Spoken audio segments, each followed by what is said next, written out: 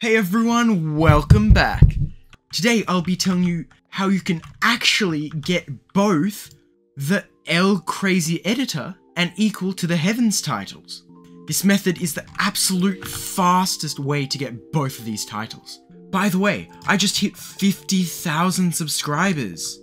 And as a thank you, I am doing some giveaways in my Discord server.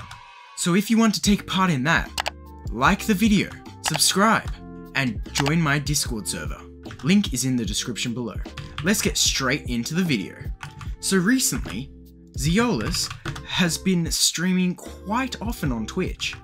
He is doing a special challenge where you can fight him for a chance to get both of the titles at once. But there is a catch, or two.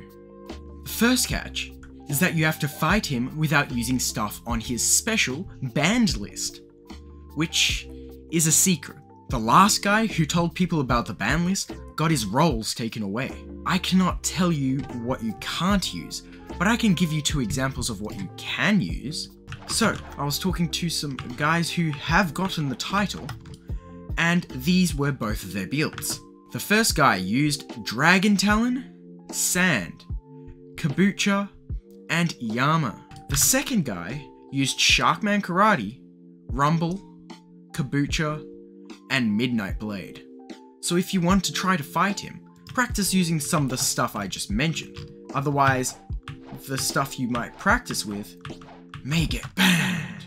Now the second catch is that you need to be a tier 3 subscriber on his Twitch channel. Yeah, it is like 25 American buckaroonies. Yeah, he will earn a lot of money from it. Yeah, you can still lose the fight and not even get the titles, but it is his title, so he chooses how to give it out. By the way, he streams the fights, and will eventually upload the replays to his Twitch channel, so you can use the replays to see what you can use in the fight. And who knows, if you tune into a stream where he is fighting, you may even get to fight him without paying for it.